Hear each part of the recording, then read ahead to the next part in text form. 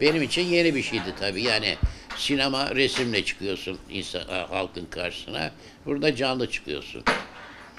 Ve canlı ilişki çok güzel. Bayılıyorum ben.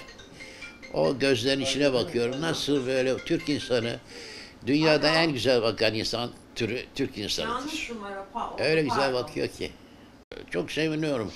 Mutlu oluyorum o seyircinin şey gibi akıyor böyle. O minnet duygusu. Ee, bir manada da e, bağlılığı, vefa, en çok da saygısı. O gözlerinden o ka- kaynak, kaynak öyle su, nehir gibi akıyor.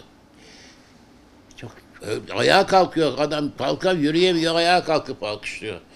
Ya bu bir, bir asalettir. olarak Daha onlara- hiç onu fark etmiyorum yaşlı falan. Yalnız söylediğim gibi mesela benim kılıç darbesiyle yere düşen çocuklar var üç tane. Ya canlarına kuyuya atıyorlar kendilerini falan. Yani e, tabii gençlik. İşte Kara Murat bu.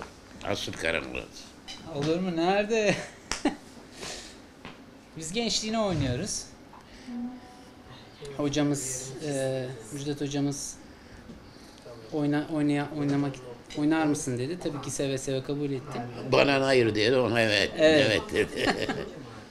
Ben bu ekipte olmaktan çok mutluyum. ben, o çok önemli. Gerçekten çok mutluyum. İyi ki de e, kabul etmişim.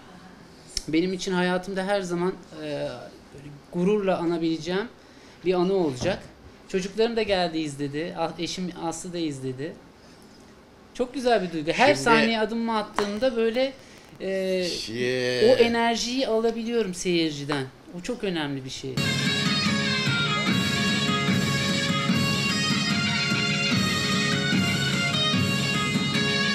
Fatih Sultan Mehmet Hazretleri Efendimiz hoş gelmiş, sefa.